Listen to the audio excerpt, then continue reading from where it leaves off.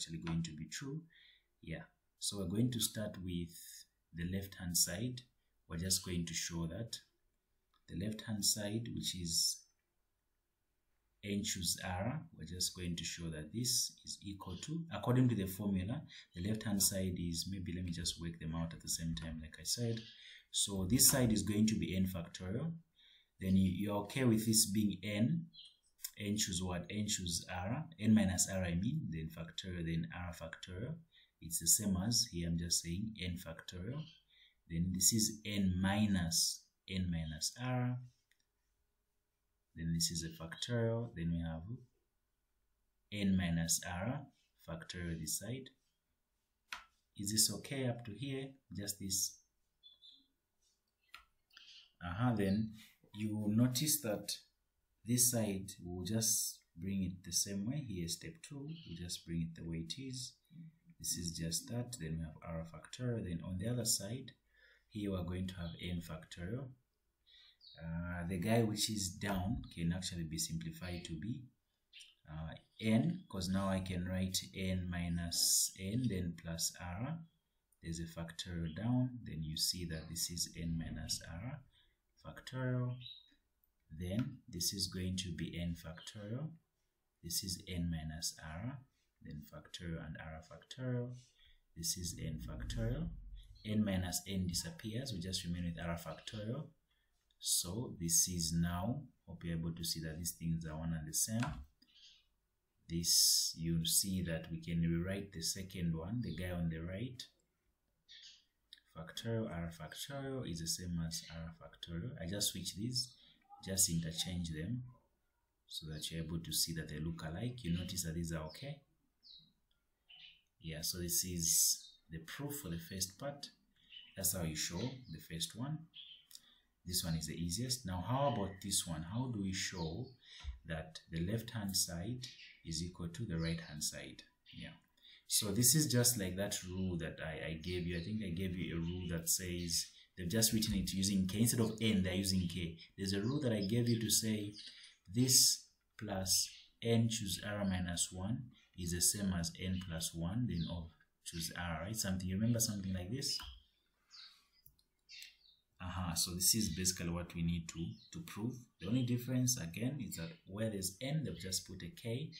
So i'll start with the left as well. So here they're just saying k um, choose r minus 1 then plus k choose r is equal to there's a k plus 1 then choose r. So first of all i'll start with this one here. Yeah uh, this guy here the, the, the one that is alone this independent one I'll start with the right hand side. So the right hand side is just going to be equal to k plus 1 then r is equal to this is the same as k plus 1 factorial. Then down you're just getting k plus 1 minus r. Then you have a factorial then you have r factorial. So we can keep this for now. The other part the left hand side i'll come with the left hand side. The left hand side we had k and r minus 1 then we have k and r. So if we solve these two together trying to combine them this is going to be k factorial. Over there's a k minus this is r minus 1 the factorial is here then you're having r minus 1 factorial then plus this is just k there factorial. Then down you're having k minus r factorial then uh, r factorial. Then we can move this a bit. This here is the same as um, let me see what we wrote here. Okay. The right hand side was okay yeah, it's just like that.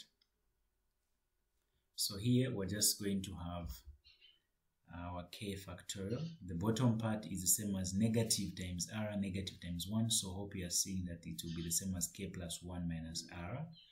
Then we're having a factorial. Then there's r minus 1 factorial are you okay with this part here Nyumezi? this part how it changed to be that uh, then the other side is k factorial then this is just going to be k minus r factorial and r factorial. Now, at this point, we see that the top guys are the same, the numerators are the same, so the only distinguishing factors are the, the denominators. And what is big between k plus 1 minus r and k minus r is k plus 1 minus r. So k plus 1 minus r is bigger, so it's the one that we pick.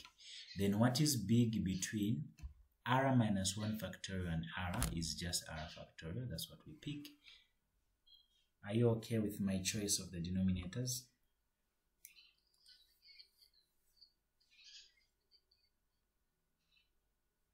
Oh, okay. So if I give you um, k plus 1, which one is big between k plus 1 and k? Uh, so now imagine if I remove 1 there and I also remove r. I mean, I remove all the same number. So which one will still be big? Which one is big between the two? Yes, so no wonder I'm choosing this guy to be the big one. This is the big one, right?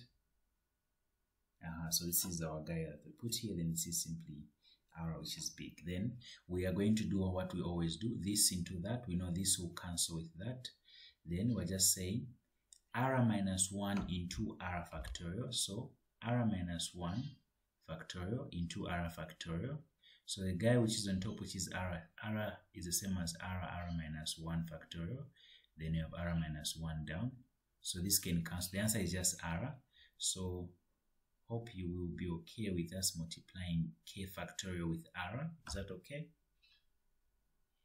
Then again, this other side we do the same. You notice that r factorial comes with r factorial. What is k minus r into k plus 1 minus r? The answer is just uh, k, k plus 1.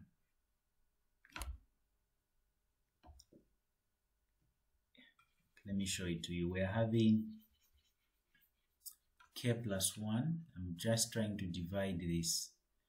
You should just look at it as if they are numbers. So I'm trying to divide this guy here, k minus r into k plus 1 minus r. So k plus 1 minus r factor is big, then the k minus r is small.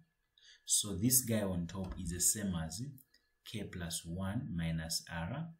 Then you subtract 1 from here, it will be k minus r. Then this is what factorial k minus r. Then this can cancel. So the answer is k plus 1 minus r, right? Uh-huh. So let me just actually there's there's a minus r here if I'm not mistaken. So yeah, there should be yes, something like that. So now what is common on the numerator is k factorial. So I'm going to factorize k factorial. What remains is r plus k plus 1, then minus another r. At the bottom, we're just having k plus 1 minus r. Then this is r factorial. Then this is just going to be on top. We're going to have k factorial. Then there's k plus 1. Then down you're having k plus 1 minus r. Then factorial and r factorial. Now you know to say, if I give you to say 7 factorial times 8, you know, it's the same as just saying 8 factorial because 8 factorial is 8 times 7 factorial, right? Uh, so the guy on top, instead of saying, uh, instead of saying k factorial times k plus 1, we'll just say this is the same as k plus 1, the big one, k plus 1 factorial.